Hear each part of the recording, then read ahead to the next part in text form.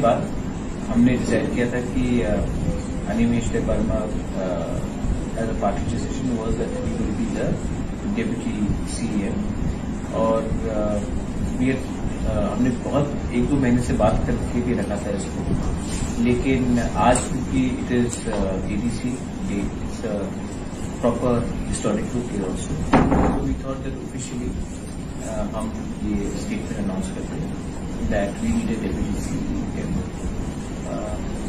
precisely because uh, uh, अगर C M और हम कहीं बाहर में कोई टोर में है somebody has also handle the entire office the day to day running and we are all working as one team nobody is bigger nobody is smaller we all one unit तो इसमें एक mutual uh, corporation हो और uh, हम सब एक साथ होकर काम करें।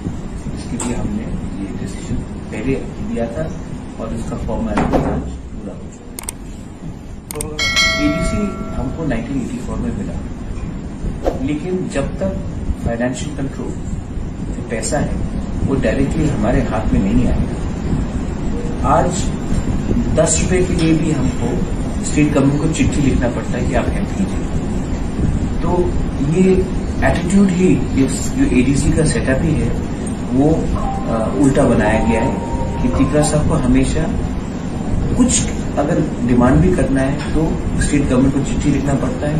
स्टेट गवर्नमेंट तब उसको देखता है, उसके बाद हमें पैसा भेजता है। तो अगर आपको कोई भी इंस्टीट्यूशन को एम्पावर करना है तो आपको फाइनेंशियल कंट्रोल देना चाहिए। सेकेंड चीज़ है कि हमेशा स्टेट गवर्नमेंट्स कहते हैं कि हम ये देंगे वो दिया है, हमने ये दिया है।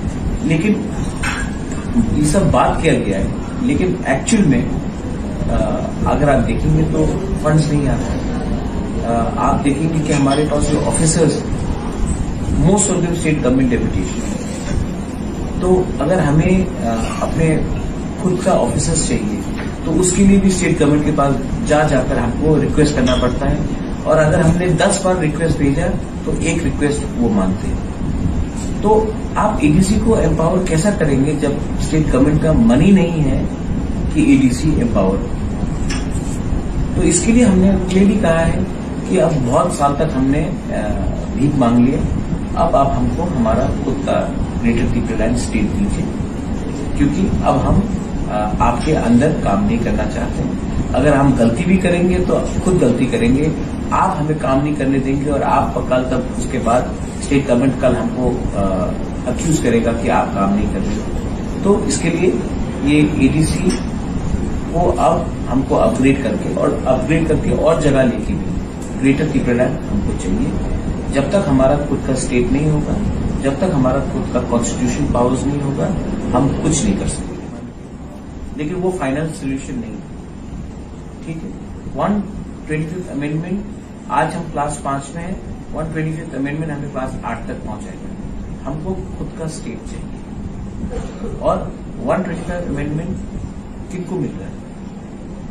मेघालय को मिल रहा है जहाँ पे उनका खुद का मुख्यमंत्री उन खुद का गवर्नमेंट लोकल है। नागा आ, आ, क्या बोलते हैं?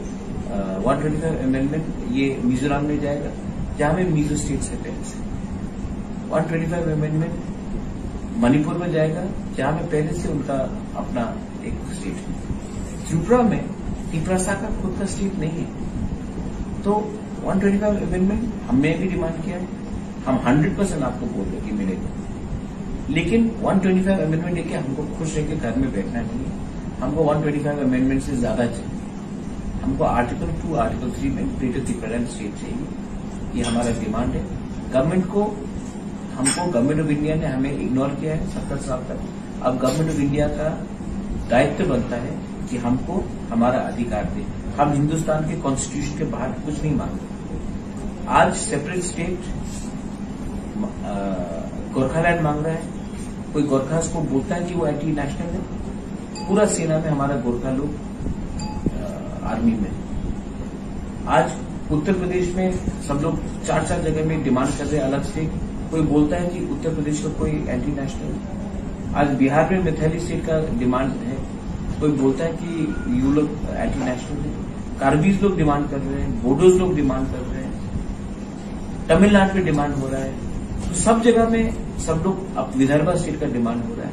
लेकिन सिर्फ़ त्रिपुरा में जब तिकरासा अपना सीट का बारे डिमांड करता है तो सब लोग बोलते हैं कि ये एंटी नेशनल है, ये गद्दार है। तो ये गलत चीज़ है। हम लोग अपना लाइन में चल रहे हैं और हमें कोई इंटरेस्ट नहीं है। कि अगरतला में कोई भी पॉलिटिशियन क्या सोचे, हम दिल्ली से डायरेक्टली बोल रहे कि हमको न्याय दो। हमने एनआरसी डिमांड किया एनआरसी अभी तक कोर्ट में कुछ नहीं किया। हमने सीए का विरोध किया, वो भी कोर्ट में फंसा हुआ है। तो ये कब तक हम लोग इंतज़ार करेंगे? हमको आप नितिन का हमारा डिमांड है, वो पूरा की